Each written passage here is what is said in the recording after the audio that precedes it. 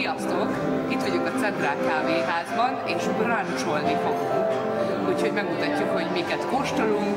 Van új étlap, most itt újra a hely, gyönyörűen megcsinálták belül, sokkal világosabb lett, nyitottak a terek, nagyon jól néz ki, és mindjárt meglátjuk, hogy finom is.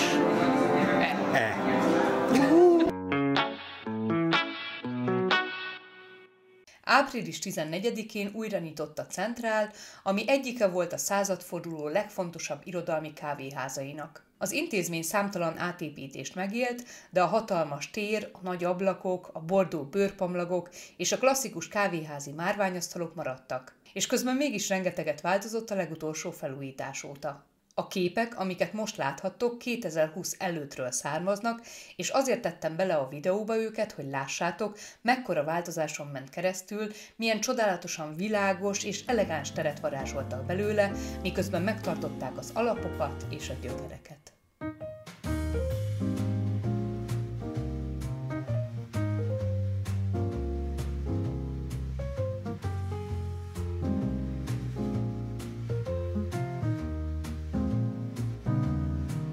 Centrál Kávéház 1887-ben nyílt meg Erényi Ulman Lajos házában. Maga a kávéház a ház földszintjén volt, és nyolc teremből, két játékszobából, egy kávékonyhából és egy ruhatárból állt. A régi Centrál Kávéház egyik legfontosabb hagyománya a híres vendéglátáson túl a kávéház intellektuális jellege, a pesgő kávéházi szellemi élet volt. 1905-től Mészáros Győző vette át a kávéház vezetését, aki nagy hangsúlyt fektetett a szellemi életre.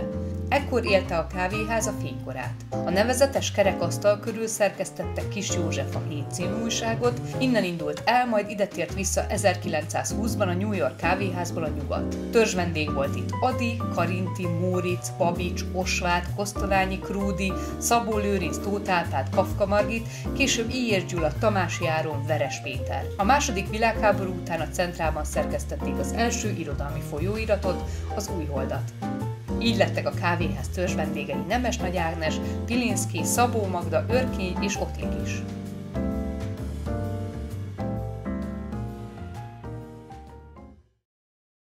Totális hangzavarok közepette azért megpróbáljuk fölvenni ezt a videót.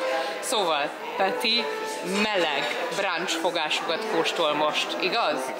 Ja, amúgy nem, csak az egyik meleg. Itt van.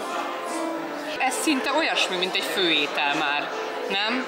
Abszolút. De abszolút a brunch menüsorba tartozik. És egy teljesen jó kis uh, új megközelítése egy tésztaételnek, és nem tudok beszélni, mert megjött a nyál, ami ennek Akkor az ételnek az elfogyasztásához szükségeltetik.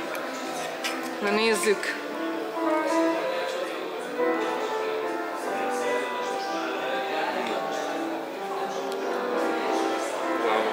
Ez ilyen reggeli ebéd egyben, nem?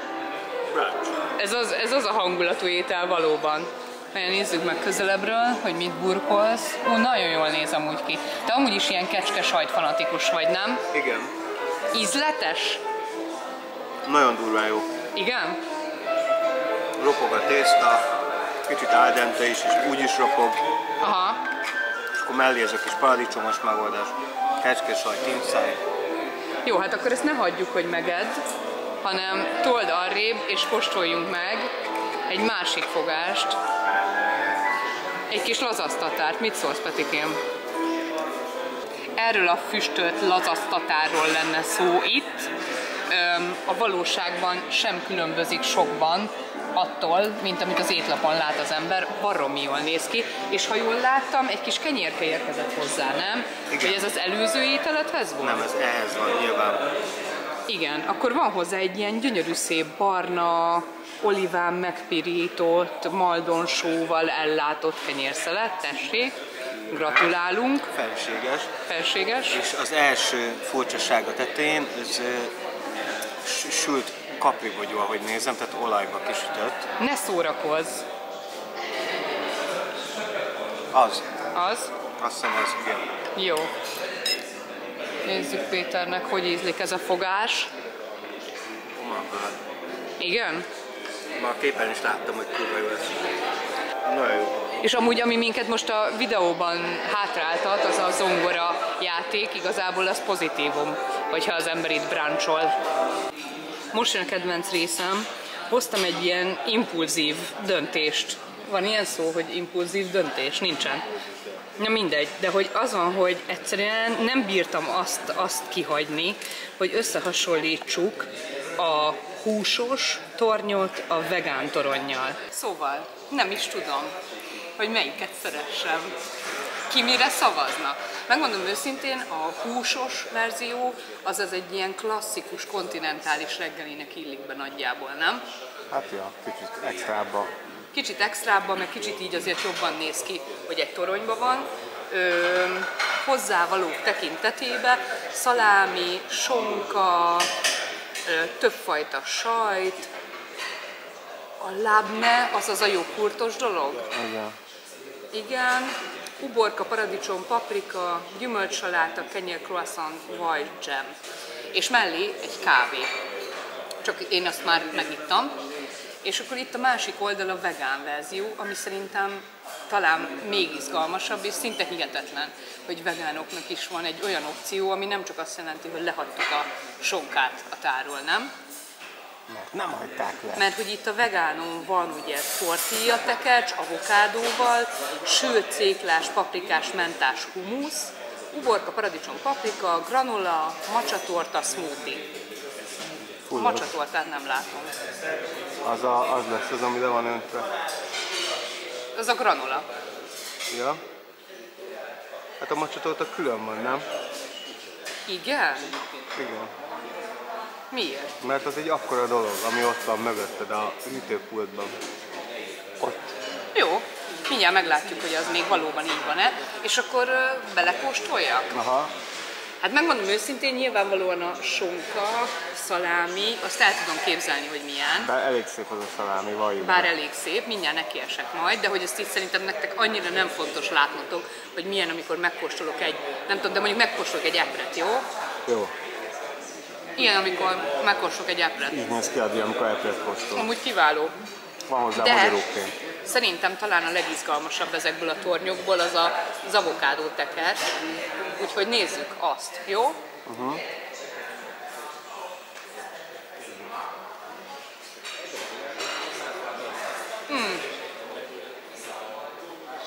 Wow. Nagyon-nagyon finom. Van egy kis ilyen crispy rész is, ilyen, mi ez, kókusz chipszel, zöldségek, paradicsom, tökéletes avokádó. Nem tudom, ti melyikre szavaznátok? Húsos torony, vegán torony. Hústorony. De nézd, milyen szép. Egy szép rózsaszín. Lehet, hogy nem adja át annyira, de ez pont, pont ugyanilyen rózsaszín a valóságban, mint ahogy így látszik. Figyelj, azért, ne, azért nekiesünk, nem? Azért besegítesz. Én, én ezekre vagyok. Jó, jó. Kíváncsi még jobban, amiket eltesztem. Ja, még izét nem mondtam hozzá, árat nem mondtam hozzá. A sima húsos az 4560 forint, de ebből benne van a kávé is. Tehát szerintem ez egy tök korrekt dolog, és én ahogy nézem, ez mennyiségre elég kettőnknek akár. Tehát, hogy én ezt tudom képzelni, hogy egy-egy croissant, egy-egy kenyérke, max még kérsz hozzá egy kis kenyeret, tehát, hogy ezt nem tudod megenni egyedül. Én, vagy hát mi szerintem reggelire ennél nem ennénk többet. A vegán az 4860, és abban benne van a smoothie, és elvileg a macsa torta is. Úgyhogy mindjárt ennek még a végére járunk. Szerintem most életemben először választottam tatár. Igen, én nem nagyon láttalak még tatárt választani. Nem vagyok egy nagy tatáros, de ez annyira jól hangzott, jól nézett ki, és nagyon, nagyon átjött. Tehát nem a, nem a komfort ízeim közé tartoznak se a kapri, se a lazat, se a cékla, de ha ezek együtt szerepelnek, ráadásul ez, ez, hogy ilyen olajba kisütött kapri, ez valami elképesztő. megvan a macsa torta, amit az előbb olvastam.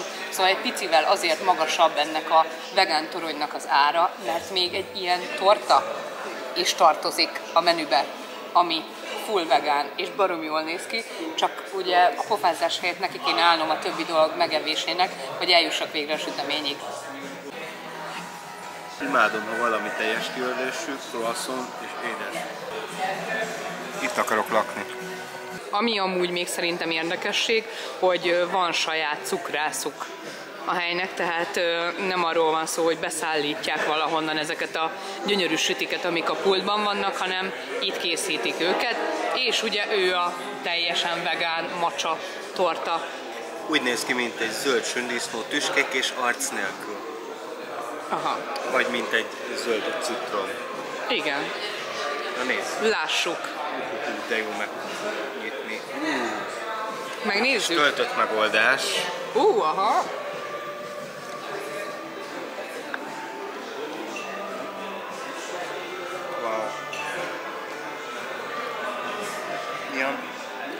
Olyan durva, hogy ilyen túrós érzés van. De Ami lehetetlen. Ilyen savanykás túrós. És már szó is a zene. Jó? Tök jó. Nem mondanád, hogy vegán. Akkor ezek szerint. Na nézzük. De ez mi? Tofu.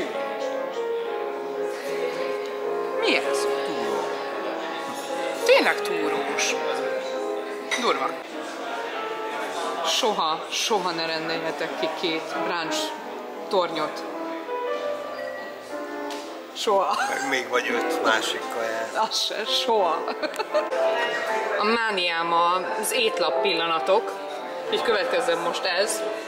Az édesekkel kezdődik, meglepő módon, és amúgy ott van egy pult, szerintem érdemesebb általában ott megnézni, hogy milyen édességek vannak, és akkor azt kérni. A kedvencünk a dobos torta, abból is van egy ilyen furcsa alakú, újra gondolt verzió. Brunch menük, bundás kenyér, saksuka, aztán itt vannak ezek a, ezek a komolyabb bráncsos ételek, amiből Peti választott. Reggeli, toastos verzió, avokádós, céklás, nutella banános, itt vannak ilyen tojásos, salátás ételek is, baromi jól néznek ki ezek is. Amúgy pont azt mondtam az elején a Petinek. Nekem. Vannak azok az undorító ételképes étlapok a Balatonnál, amiktől így kihányja a belét az ember mielőtt rendelne már. Na ez az ellentéte annak, amikor így van értelme annak, hogy ételképes egy étlap, mert nem rontja el a, a hangulatot, ellenben meghozza a kedvet. Na és akkor itt vannak a tornyok, többféle is van, ugye a bráncsos tornyok, és vannak ezek a délutáni teás tornyok. Én erre akarok visszajönni veled. Egy romantikus délutáni teatoronyra. Mi bráncsolni jöttünk, de jöhettünk volna ebédelni, vagy vacsorázni is. És itt van gulyásleves, gyöngytyúkleves, ribeye steak, kacsa, sima bécsi burgonya salátával, tehát hogy tényleg igazából én nem nagyon hiszem, hogy itt az ember nem talál magának, és nagyon-nagyon tetszik, hogy, ez a, hogy a vegetáriánus vonal, meg a salátás vonal is ilyen erőteljesen van tolva. Például ezt a füstölt brokkolit, ezt, ezt úgy meg tudtam volna még kóstolni. Van még itt egy különlegesség, egy má- igen, a Peti. Egy másik menü az irodalmi étlap nevezetű menü. Hát most nem tudom nektek megmondani pontosan, hogy mikor, de bizonyos időközönként lézengeni fog egy ilyen irodalmi főúr itt, bár ha jól, jól hallottam, akkor az nő is lehet. Tehát Főnő. Akkor főnő, és letehet elétek egy ilyen irodalmi étlapot. Hogyha közelebbről megnézitek, vannak itt ezen angol szerzemények, dalok, vannak rajta kortárs előadók dalai, és vannak rajta, hát régi, jól is ismert klasszikus magyar versek is. Ezek olyan dalok, meg versek, amiket az irodalmi főúr el tud nektek szavalni. Tehát nyugodtan választhattok, ha elétek teszi ezt a lapot egy verset, és akkor ő el fogja mondani nektek az asztalnál. Ez mennyire kedves, Péter? Nagyon. Elnyomod az Adi Endrétől az őrizem a szemedet? Ezeket a külföldieket nem ismerem. Nem, nem tudsz elszavalni semmit róla? Nem ismerem én ezeket. És egy másik verset Iro, nem, írom majd, de... nem, nem szabad egy másik verset? Whitney Joust. De jó, akkor már, bármelyik kedvenc versedet. Well. Ha? Hát akit érdekel az irodalom, nem úgy, mint Pétert, az hagyja, hogy az irodalmi főúr majd szavaival kényeztesse őt. mi megiszunk egy kávét. Nem minden betűt ismerek. Nem sok helyen érzem azt, hogy muszáj megmutatni a mosdót, de itt meg akarom mutatni nektek, mert ez egy külön világ. Én itt érzem a költők lehelletét. Oda nézzetek, még mindig csak jövünk. És akkor, ladies, hoppá, brutális. Nagyon tetszik. Ez most az új kedvenc mosdóm. Van ez a tipikus Starbucksba belülős tanulás, meg meetingezés, ami amúgy jó, és én amúgy szeretem, és van egy hangulata annak is, de igazából a Starbucksba rengeteg lóvét el lehet költeni, csak nem annyira különleges és érdekes ételekre, meg italokra, mint amik például itt vannak.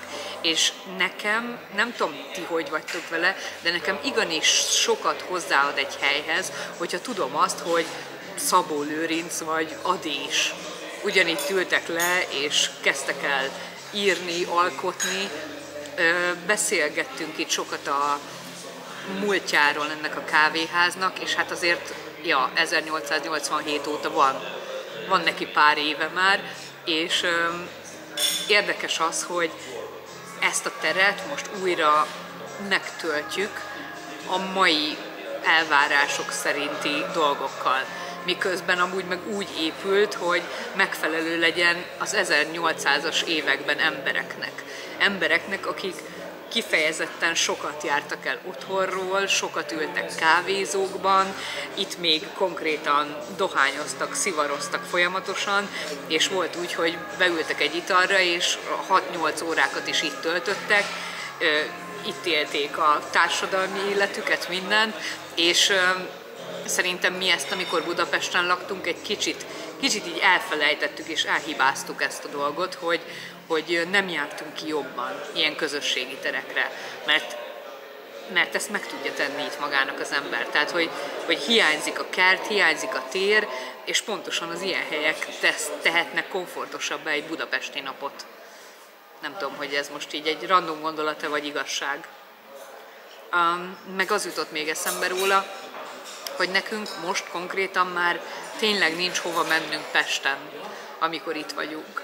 Tehát, hogy két program között, hogyha felszabadul három-négy óránk, akkor, akkor azt úgy vagy hazamegyünk, és akkor nem megyünk el a másik programunkra, vagy, vagy konkrétan kellenek helyek. Kellenek olyan helyek, amik így a tarsolyunkba lehetnek, ahova jó bemenni, ahol három-négy órát kellemesen tudsz dolgozni, ahol esetleg zongora szól, Na, ennyi volt ez a videó most. Lesz folytatása, hát ez nem egy ilyen külön sorozat, de hogy fogunk mutatni még a közeljövőben ilyen tradicionálisabb, magyaros, magyar múltú helyet, nagy múltú helyet, úgyhogy tartsatok mindenképpen velünk, hogyha van ötletetek, hogy ti mit látnátok szívesen, azt is nyugodtan jelezhetitek, és ezer hála és köszönet és csók minden tagnak és patreonálónak, akik remélem most már nem sokára megkapják a jussukat Adritól és Petitől. Bizonyám. És tessék bekövetni minket Instagramon. Igen? Tényleg? Bizony. Rókaland és a saját profiljainkon is, valamint Facebookon is. Hát ja, meg jó lenne, ha TikTokra tennénk ki valamit mi, egyelőre nem úgy néz ki. Na mindegy, meglássuk, találkozunk legközelebb, remélem hasonlóan kellemes hangulatban. Puszi!